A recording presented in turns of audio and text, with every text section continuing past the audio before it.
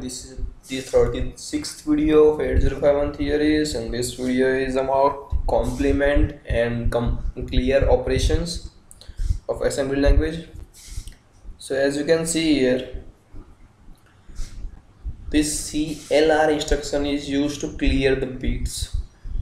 now what it will do is it will clear each bit of a register to zero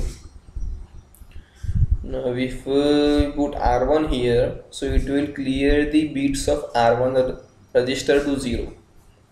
now suppose uh, here if a register uh, consists the bits like uh, 1010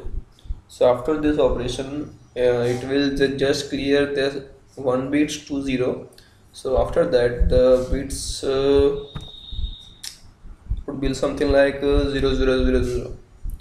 so it just clear the all the bits of the registers. And see here this instruction is used to complement CPL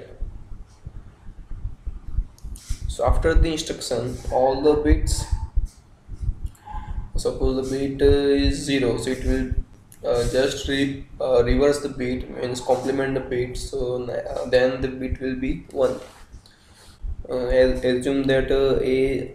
register consists 1010 so after this uh, instruction it will uh, be something like 0101 so don't confuse between this CLR and CPL both are different things. And both uses one byte. So that's it for now. Do like share subscribe and comment below. And thanks for watching